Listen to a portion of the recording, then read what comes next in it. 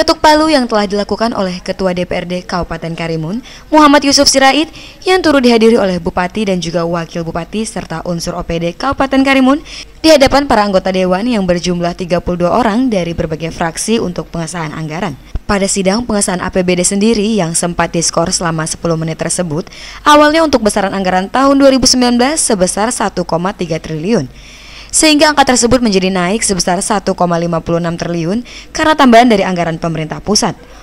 Untuk pengesahan anggarannya sendiri setelah pembacaan tanggapan-tanggapan dari seluruh fraksi serta tanggapan dari Bupati Karimun sendiri.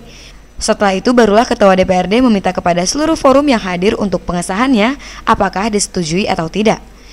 Selesai mengadakan rapat dalam agenda pengesahan APBD Kabupaten Karimun tahun 2019, Bupati Karimun Haji Dr. Aunur Rafiq menjelaskan bahwa sudah dapat mengikuti sidang paripurna pengesahan rancangan anggaran pendapatan belanja daerah Kabupaten Karimun tahun 2019 yang sudah disahkan tadi.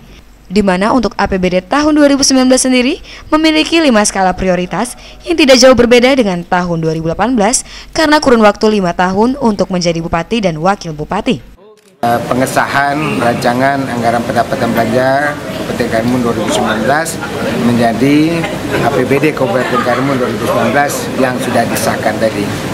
Di mana APBD Kabupaten Karimun 2019 mengikuti lima uh, skala prioritas yang tidak berjauh berbeda tentunya dengan 2018 karena sejalan dengan visi dan misi kami lima tahun sebagai bupati dan wakil bupati. Mana skala prioritasnya yang dilakukan adalah pembangunan infrastruktur, dua pemerataan pembangunan infrastruktur, uh, revitalisasi untuk uh, kebutuhan dasar seperti pendidikan dan kesehatan, kemudian peningkatan mengenai masalah perikanan, uh, pertanian dan alat tangkap, yang kelima adalah penataan birokrasi.